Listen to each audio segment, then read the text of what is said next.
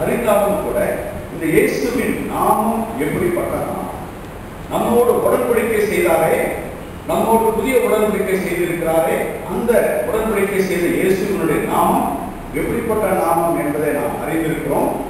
அறிந்திருந்தாலும் அதை மீண்டுமாக நாம் அதை நினைவுபடுத்துவதற்காக இயேசுவின் நாமத்தை குறித்து சிந்திக்கலாம் இயேசு என்கின்ற பெயர் சுமார் தொள்ளாயிரத்தி எழுபத்தி ஒன்பது வரை புதிய ஏற்பாட்டிலே இடம்பெறுகிறார் இயேசு என்கிற ஆனால் இந்த ஜீசஸ் ஜீசஸ் என்கின்ற வார்த்தை லத்தீன் வார்த்தை எபிரேய வார்த்தை ஜாஷ்வா. எபிரேய வார்த்தை ஜாஷ்வா. இந்த யோசுவாவை தான் ஜாஷ்வா என்று சொல்கிறோம்.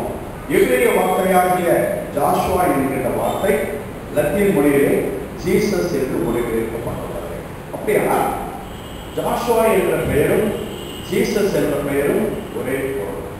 ஆனால் நம்ம என்ன நினைக்கிறோம்? யோசுவா வந்து பழைய பாட்டுக்காரர் காலத்தார் மோசைக்கு பிறகு யோசுவா வந்தார். யோசுவா பழைய பாட்டு காலத்தில் இஸ்ரேல் மக்களை ஈர்த்து எய்த்திலிருந்து காணம் தேர்ந்து ஒரு காணான் தேசத்திற்கு வழிநடத்தி சென்றவர் யோசுவா. நான் உங்கள் வீட்டு வருவோம் என்ற கத்திரையை சேமிப்போம் என்று சொன்னால் யோசுவா என்று நினைக்கிறார் உண்மைதான். ஆனால் இந்த யோசுவா என்ற பெயரும் இயேசு என்ற பெயரும் ஒரே பெயர். அது லத்தீன் மொழியிலே இயேசு ஜீசஸ் எபிரேய மொழியிலே உதாரணமாக நாம் பார்ப்போமா அப்போ சில ஏழாம் அதிகாரம் நாற்பத்தி ஐந்தாம் வசனத்திலே அப்போ சில ஏழாம் அதிகாரம் நாற்பத்தி ஐந்தாம் வசனத்தை வாசியுங்கள். அப்போ சில ஏழு ஐந்து. ஏழு நாற்பத்தி ஐந்து ஏழு நாற்பத்தி ஏழு ஏழு நாற்பத்தி ஐந்து ஏழாம் அப்போ சிலர் ஏழாம் அதிகாரம் நாற்பத்தி ஐந்தாம் வசனத்திலே போதும். மேலும் யோசுவாவுடனே கூட நம்முடைய பிதாக்கள். மேலும் யோசுவாவுடனே கூடிய நம்முடைய பிதாக்கள். இதை கிதியோன் வேதாகமம் எல்லார் கையில் இருக்கு.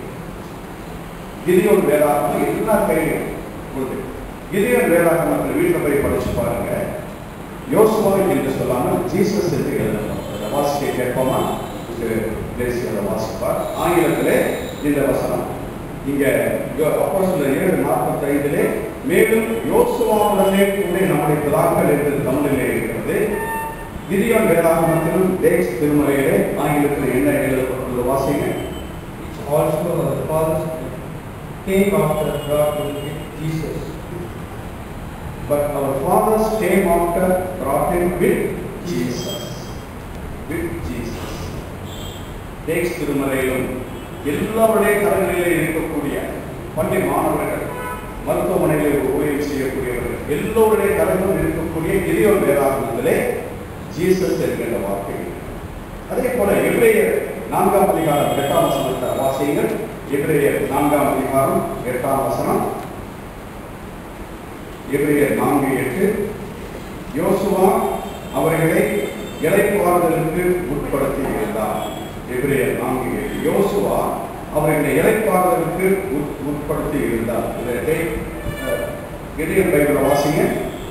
For Jesus has given them rest. If Jesus had given them rest, if Jesus had given them rest, Tamil திருமலையிலே யோசுவா அவர்களுக்கு இலைப்பாறுதலுக்குள்ளாக கொடுத்திருக்கிறார்.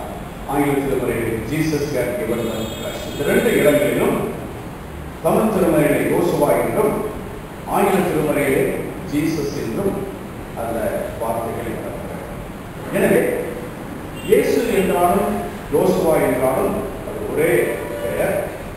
ஜீசஸ் என்பது லத்திய பெயர் யோசுவா என்பது இன்றைய நாம் அறிந்து கொள்வதற்காக அவர்களோடு பகிர்ந்து கொள்கிறேன். இந்த இயேசுவின் நாமம் எப்படிப்பட்ட நாமம்? இயேசு என்ற நாமத்தை நாம் அறிந்து கொள்ள வேண்டுமா? உலக மீட்பர். உலகத்திற்கு மீட்பளிப்பவர் அவர்தான் இயேசு. எனவே அது ஜீசஸாக இருந்தாலும் யோசுவாவாக இருந்தாலும் மீட்பர். யோசுவா யாரை மீட்டார்? இஸ்ரவேல் மக்களை மீட்டார். யோசுவா இஸ்ரவேல் மக்களை அடிமைத்தளத்திலிருந்து மீட்டெடுத்து இஸ்ரவேல் மக்களுக்கு ரட்சிப்பை கொடுத்தவர் அந்த யோசுவா. அதே விதமாக இயேசு கிறிஸ்து உலகத்தில் இருக்கிற அனை- அனைத்து மக்களுடைய பாவங்களை நீக்குவதற்கு அவர் ரட்சகராக மீட்பராக அவர் பிறந்தார். எனவே அவருக்கு இயேசு என்று